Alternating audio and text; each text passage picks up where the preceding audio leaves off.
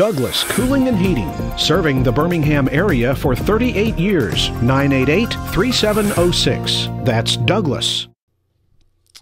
I'm James Spann. This is the morning edition of the Weather Xtreme video. This is for Thursday, the 17th of February. What can you say here? The big thaw rolls along. We stay very mild, if not warm, through early next week. Potential for getting close to record highs around here. Uh, let's go look at some of the Skycam shots. Thought I'd go back and show you the sunset yesterday. Thought that was gorgeous. That was coming from Inverness. That was captured at 516 not a cloud in the sky.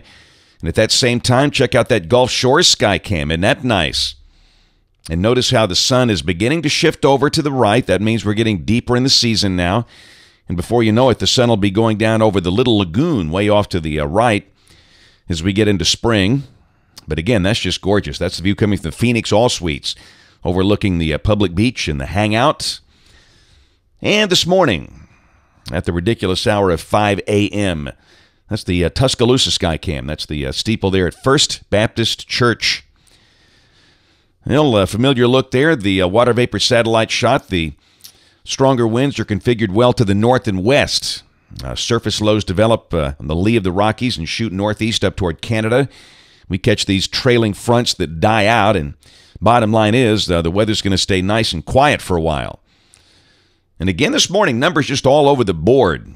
I mean, you're probably tired of hearing us say this, but this is why this is not a good one number place when you forecast a morning low. You got the numbers uh, varying there from 34 at Gadsden to 50 at Muscle Shoals. Uh, but Birmingham sitting at 42. Around the uh, nation yesterday, these are highs. And look at those 80s surging up into Oklahoma and Kansas.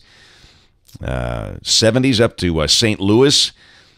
And uh, even up north, you know, they had highs up in the 40s, just like a heat wave to those folks up there. So the big thaw is on over much of the nation. But again, way up north, we continue to watch this air that's beginning to slide out of Alaska down into the uh, northwest territories of Canada, where the uh, looks like the coldest reading up there this morning is 49 below zero.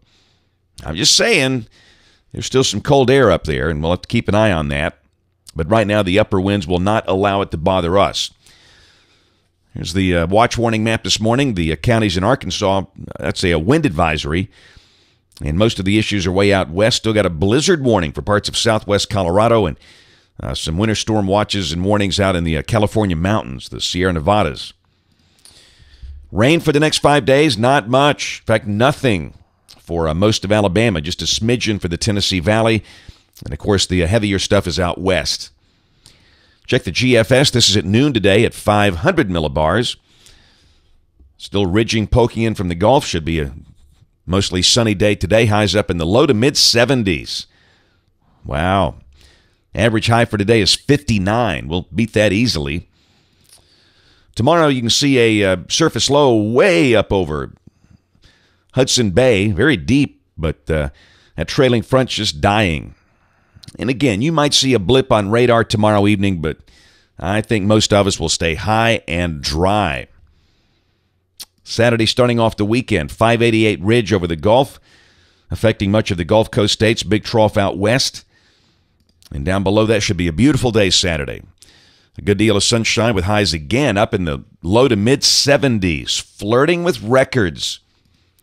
And the same thing on Sunday. The GFS is printing a 73, and it's been running too cool lately, so we're using 75. Monday of next week, a familiar story, a little energy comes out of that western trough, passes well to the north, and uh, down below that, a surface low forms near St. Louis. And again, there's going to be a trailing front, and there might be a shower somewhere, but don't count on it. And then uh, Tuesday of next weak, that's on by, and you can see somewhat cooler air tries to nose in here. Uh, this run has us dropping into the 60s on Tuesday, and if that trend keeps up, we'll probably lean in that direction. But again, certainly no major cooling. And there's Wednesday, looks great, sunny with a high in the 60s.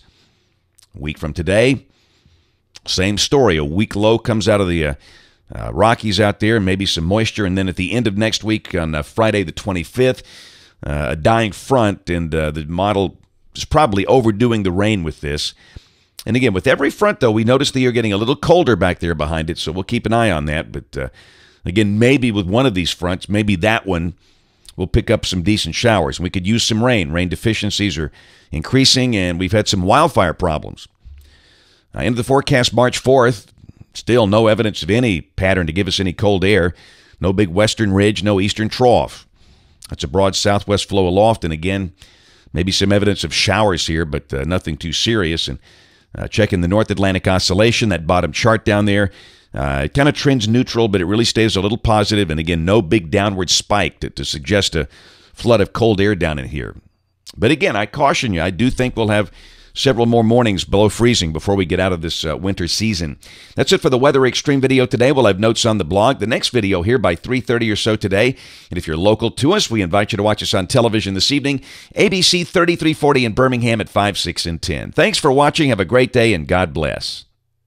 Each day, there are new stories to tell about the people who live here and the place we call home. All of the faces